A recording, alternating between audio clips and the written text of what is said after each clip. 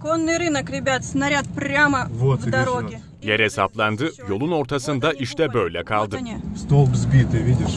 Обалдеть. Это как раз возле нашего... ж- Görüntüler Rusya'nın askeri harekat başlattığı Ukrayna'dan.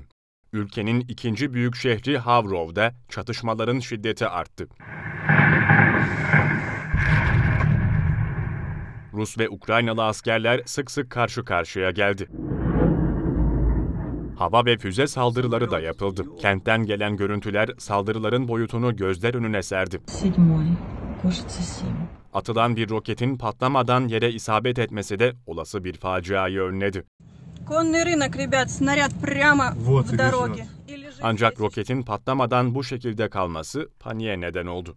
Конный рынок, ребят, снаряд прямо Вот, в и дороге. лежат. И лежит здесь еще один.